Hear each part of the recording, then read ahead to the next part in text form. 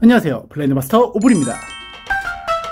오늘 알려드릴 내용은 커튼 주름 방식입니다 커튼을 주의 깊게 보신 분들은 아시겠지만 커튼에 아주 여러 가지 주름 방식이 있는데요. 위쪽이 올록볼록한 경우도 있고 주름이 잡힌 경우도 있고 직접 커튼봉이 관통해 있는 경우도 있는 등 아주 다양한 마감 방식이 있습니다. 정확한 명칭과 왜 그런 방식으로 만드는지 그리고 장단점은 무엇인지 빠르게 알려드리겠습니다. 첫 번째로 알려드릴 방식은 평식 커튼입니다. 평식, 편식 여러 가지로 불리고 있는데 이게 원래는 사방 마감 커튼으로 주름 없이 원단 내면을 그냥 일자로 펴서 마감한 상태입니다. 요즘 대부분의 커튼에서 보실 수 있는 마감 방식이고요. 이 마감 방식의 가장 큰 장점은 원단이 적게 들어갑니다.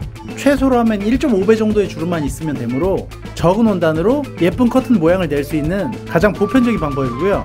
나중에 원단 모양 낼 때는 앞뒤로 올록볼록한 형태로 만들어야 하므로 커튼 박스 공간을 약간 크게 차지합니다. 커튼 자체에 큰 가공을 하는 게 아니므로 원단 자체의 패턴을 가장 돋보이게 만들고 싶을 때 그리고 요즘 대부분의 분들이 심플한 형태의 커튼을 찾으시는 것과 맞물려서 가장 대중적으로 많이 퍼져 있는 커튼 가공 방식입니다.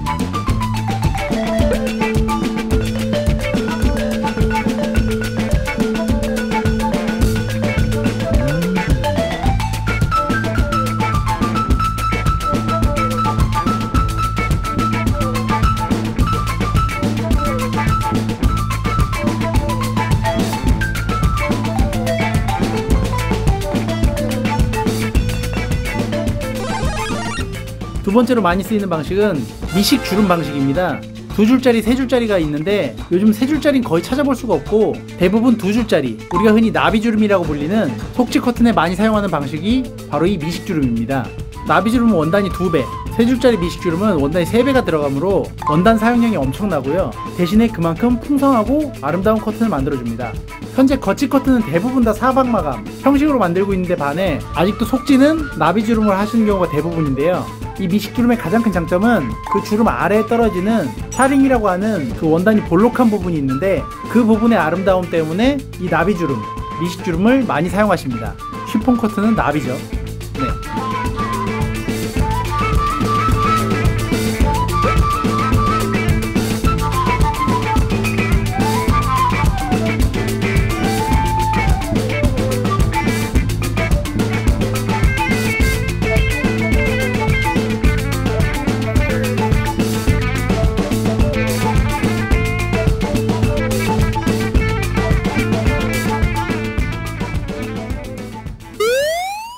세 번째로 많이 사용하시는 마감 방식은 eyelet 방식입니다. 흔히 펀칭, 리벳이라고도 많이 부르고요. 홈쇼핑에 보시면 많이 보실 수 있는 원단에 커튼봉이 직접 뚫고 들어가는 그런 방식의 커튼을 eyelet 방식이라고 합니다.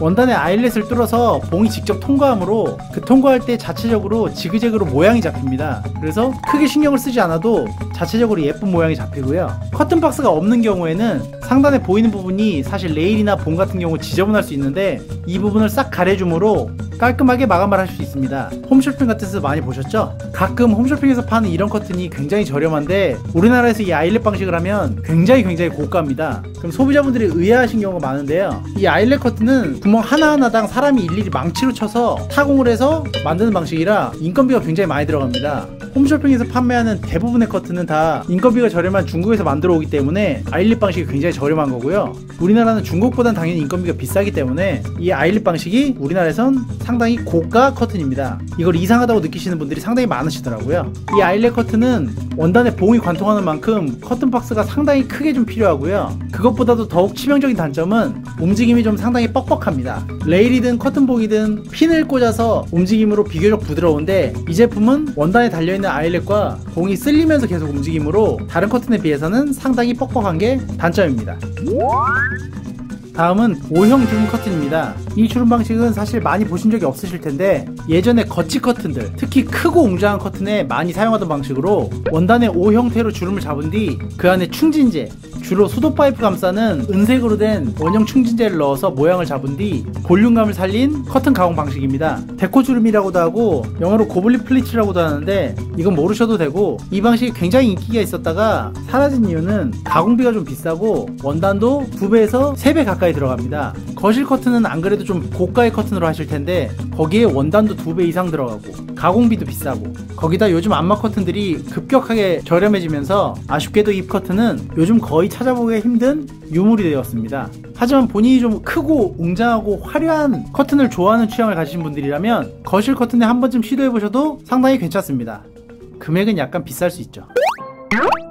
그 밖에도 실커트처럼 압축공을 끼울 수 있는 봉집 커튼 방식 아이들 방에 많이 사용하는 멜방형 방식 그리고 위쪽에 실을 잡아당겨서 자연스럽게 주름이 생기게 하는 수입식 방식 등 다양한 가공 방식이 있는데 얘네들은 다 아실 필요 없습니다 요즘 많이 안 쓰거든요 형식과 나비주름 정도만 아셔도 전혀 상관이 없으십니다 어떠신가요? 정말 다양한 커튼 가공 방식이 있죠?